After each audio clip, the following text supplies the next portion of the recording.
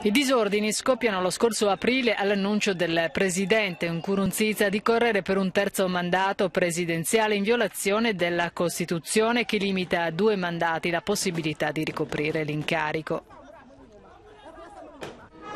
Pierre Nkurunziza però si difende dicendo che nel 2005 fu nominato alla presidenza direttamente dal Parlamento e corre quindi di diritto per un ulteriore mandato. La Corte Costituzionale gli dà ragione, ma lo scorso maggio il suo vice ha lasciato il paese denunciando l'incredibile pressione cui sono stati sottoposti i giudici per concedere il nulla osta alla candidatura del presidente. Ex colonia belga dalla sua indipendenza nel 62 la storia del Burundi si articola in violenze e conflitti conflitti etnici e colpi di Stato.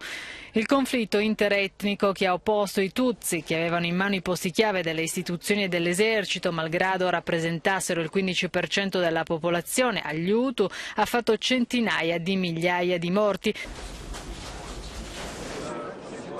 L'accordo di pace di Arusha nel 2000, raggiunto con la mediazione di Nelson Mandela, è un passo in avanti che sancisce la spartizione del potere, ma Hutu e Tutsi non l'accettano, la guerra civile continua. Nel 2003 ci sono i primi segnali di distensione seguiti un anno dopo da una missione ONU di peacekeeping.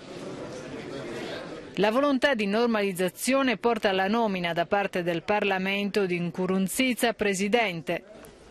Dopo una guerra civile di oltre vent'anni il paese è in ginocchio, sono oltre 300.000 i morti e l'economia è allo sfascio.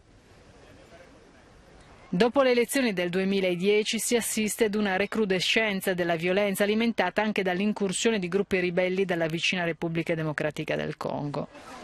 Le recenti violenze hanno costretto alla fuga più di 200.000 persone.